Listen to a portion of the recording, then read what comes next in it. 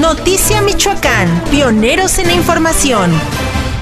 Pero limpio y planchado, porque antes se, planchaba hasta con la raya, así se acababan los pantalones de la raya. Porque las más planche y planche, como teníamos dos, tres pantalones, pues eran los mismos, se acababan de la raya. La humildad no se mide por unos zapatos sucios o limpios.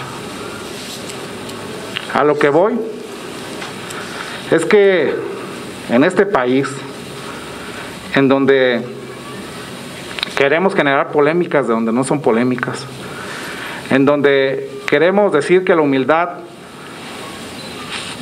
es justificación de que sean, no sean asiados o no tengan esa educación, porque también eso es civismo. Creo que nos falta mucho todavía.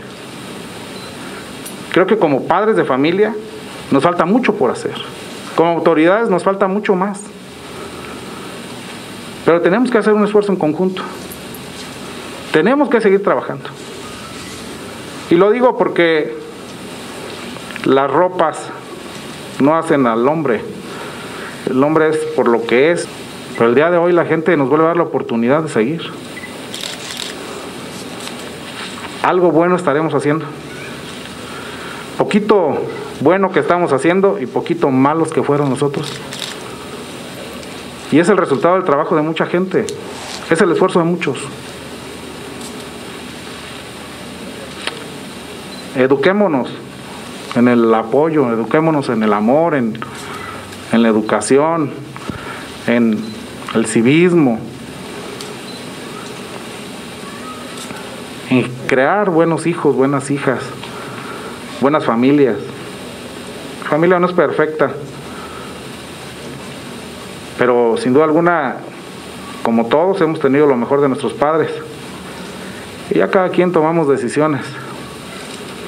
Pero ahora que tomamos nuestras decisiones debemos de tomarlas en pro de nuestro municipio, en pro de nuestra gente, en pro de nuestros niños y niñas. Necesitamos seguir trabajando.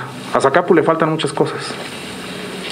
Yo sé que no son suficientes seis años y no es que quiera tres más. No son suficientes. Zacapu ocupa mucho más. Y a lo mejor no ocupa años, ocupa que cada quien aportemos lo que tenemos que aportar para que cambie.